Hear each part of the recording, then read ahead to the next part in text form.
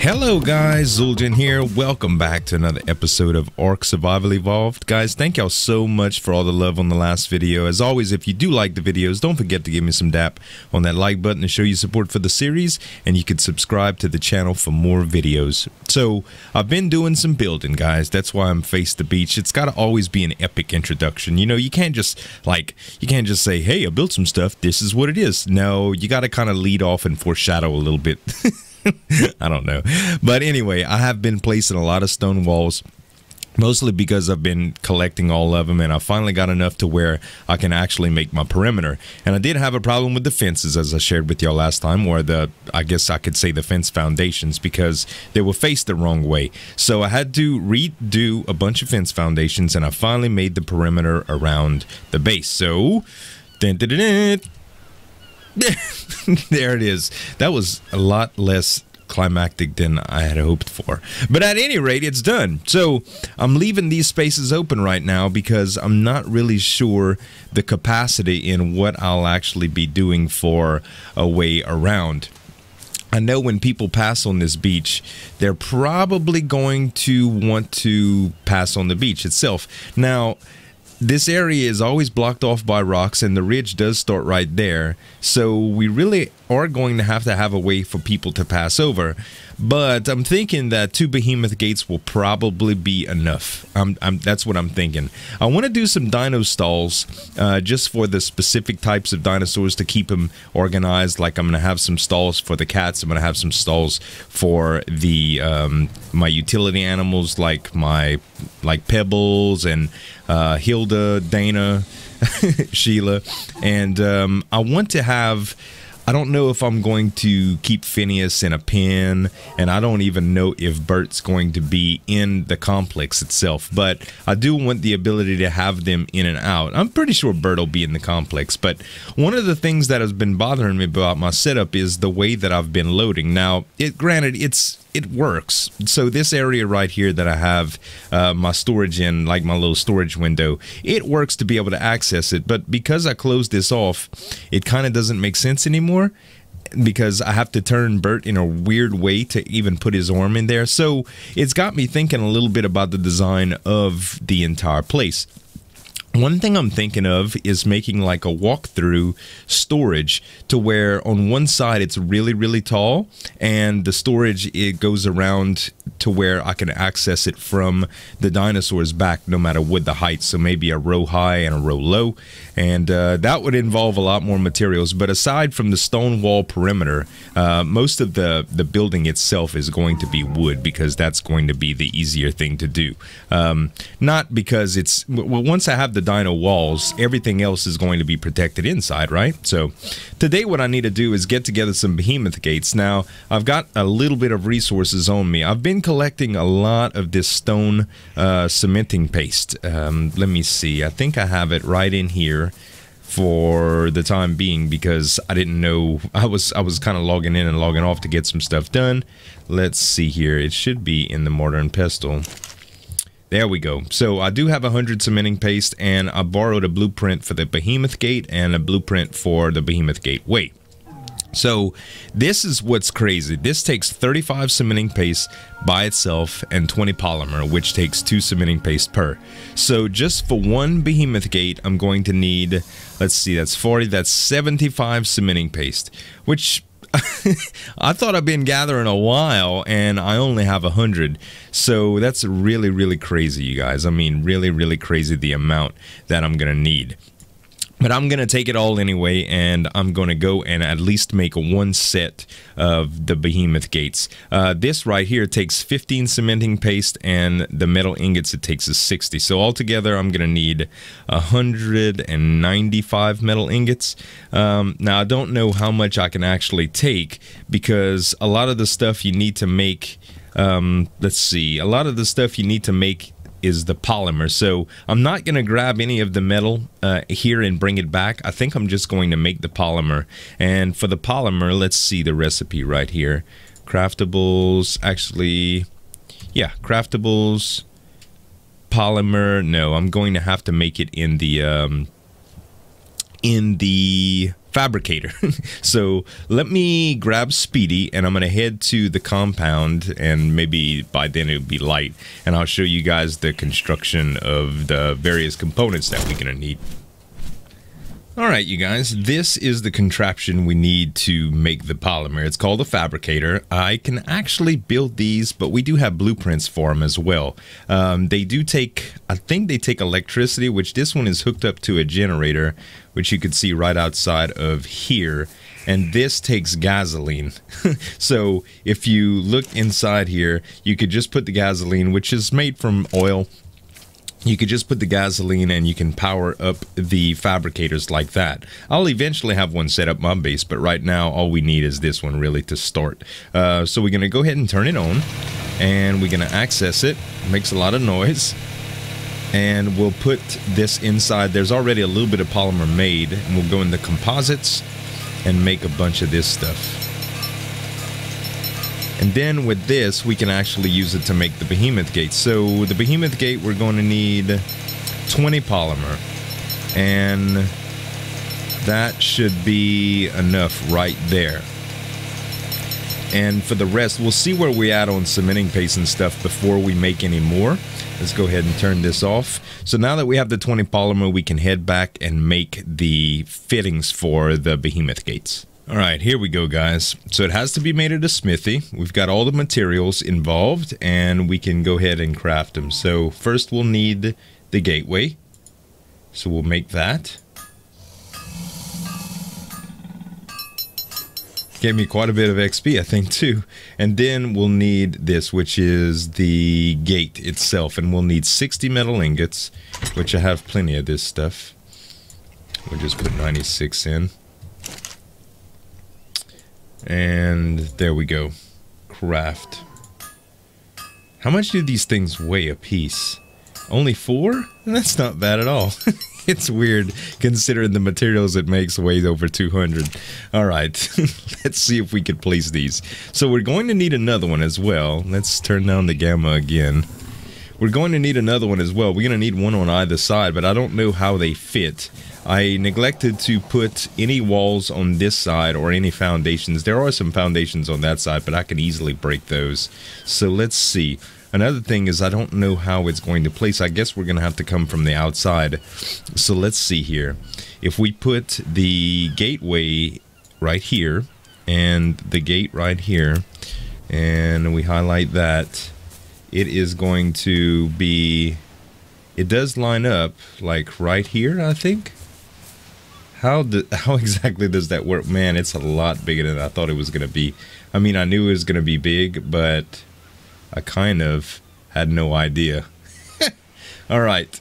So I guess we're going to have to do it there, which means I'm going to have to take out some of those stone walls. Okay, let's actually do that first. So let's take demolish stone walls. Could I do it? I'm going to do it on this side first. That way because this is the side I access more because it's on the way to the actual compound. And if I do it on this side, let's see here. Uh, that's going to be, man, the light rays are killing me. Let me see if I can turn this off. Light shafts, no, it's just that time of the day. All right, well, it looks like it places on top of any of it. And the water, it looks like it does go into the water. We'll try it right here. Oh man, it worked. Okay, that's beautiful actually. That is awesome. I didn't want it to take too much of the land space and um, yeah, and it'll go through. Okay, so the Behemoth Gateway, or the Behemoth Gate itself, should go right there. And I'm guessing it'll just place there it is. Wow. that thing is so big. It's um it's so huge. Like I'll forget until you walk right up to it. It makes the walls that I put up look kind of tiny. We're actually going to fill in a lot of these walls and double and triple high them. Um, depending on I don't know, depending on how much materials we we need. It'll take a little while. It's not going to happen overnight for sure, but we'll be adding to it. As y'all can see on the back, let me use my gateway for the first time. Hell yeah! I have some fence foundations here I could probably scrap too, but if we go ahead and look at the back here, I've started adding a second level of walls in the back and it looks pretty good. I don't know exactly where I'm going to put um, my other dino gates. I think I'm going to have a dino gate in the back because I want to say Sheila can fit through it. The only thing that I'll need to fit through the behemoth gates are Phineas and um, and Bert. I believe. I think Sheila can get back and forth through the regular dino gates. So we'll actually have to add some of those. But I'm going to continue working here a little bit, you guys, and um, we'll get some more materials. I think I'll try to get another behemoth gate on that side, and uh, we'll be back. So I've got another 440 stone or so for the rest of the wall. And in that back area, you see that corner that's only one high? I think I'm going to use a behemoth gate for that too. Now, that's not going to happen right now. I'm not ready to use that much. I'm not ready to gather that much cementing paste, but that's the plan for it. That's so I can get through the back. I've decided that I'm, I want one uh, on the back as well, on the sides of the house, and possibly on the other side, but definitely right here first, because that's going to be one of the main areas that I leave out of to go through. This um, is mainly going to be for access and exit to uh, the compound from the beach or passerbys from the other guys and stuff. So another thing I was contemplating is using walls, wood walls as the top. So instead of two high, I could go three high right here quite easily, I'm thinking.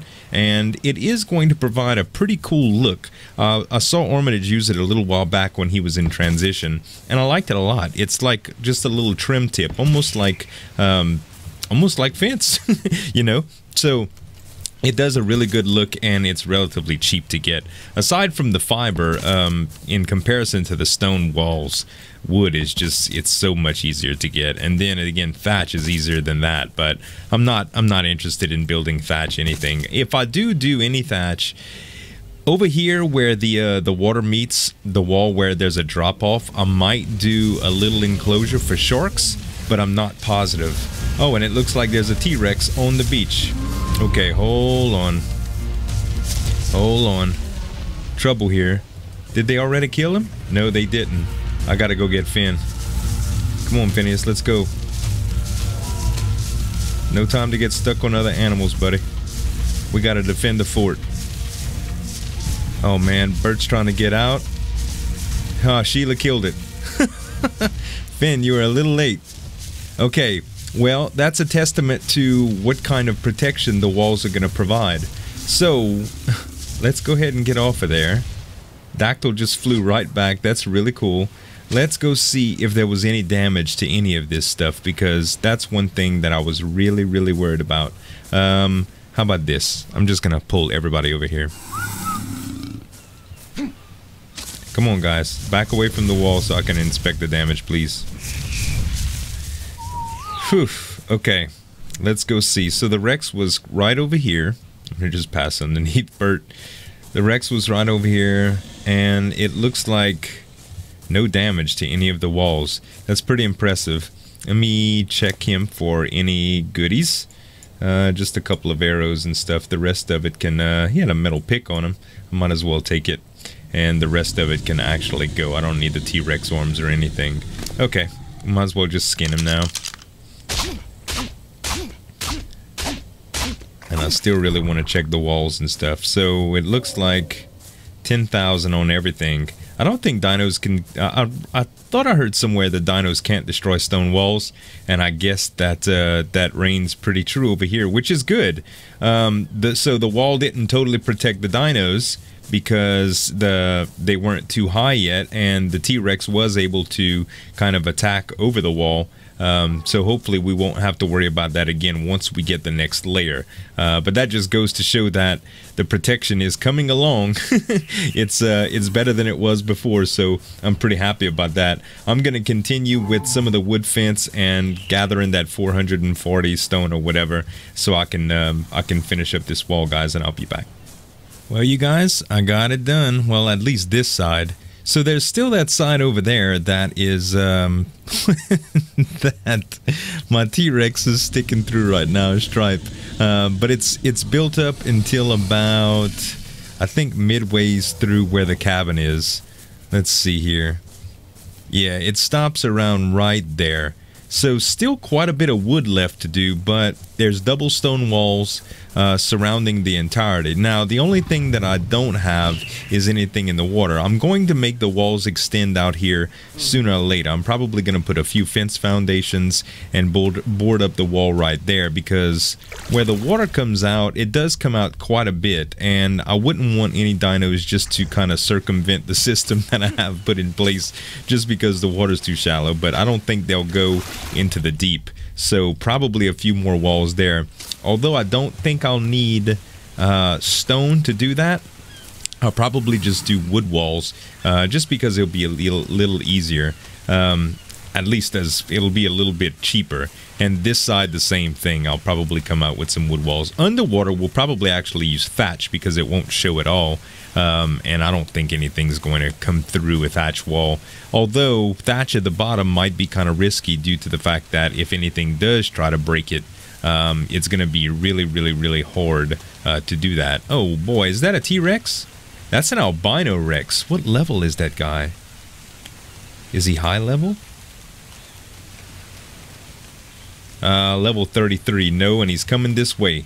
Phineas, let's go get him. Gotta protect the, gotta protect the tribe.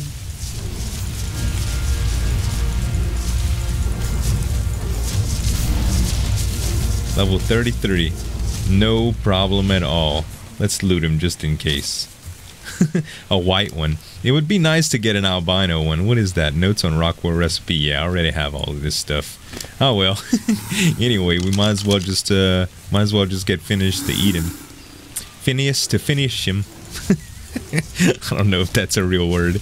Anyway, guys, that is going to be it for this episode. I hope y'all enjoyed the building. Next time we come back, I'd like to do some stuff around taming. I want to start taming some um, some rare creatures. Probably get another mate for um, for Phineas because Phineas is a little uh, Phineas is a little lonely. I really want to mate boost him, and I also would love another color of Spino. So I'm not too sure. It, it's going to have to be kind of high level for me to settle for it. So it might it might take a little while to find one. And uh, off camera, I don't know if I'm going to be able to get any building done because I'm about to go to the PlayOnCon convention, and I'm going to be out there for the next five or six days or so. So uh, the content may be a little sporadic if I don't reply to any reasonable concerns. It's just because I can't reach my comment section. So, well, guys, that is going to be it for the video today. I hope y'all really enjoyed it. If you did, please give me some dap on that like button. It really helps me out. And subscribe to the channel for more videos. Thanks so much for watching. As always, this is Zueljin signing off, and we'll see you next time.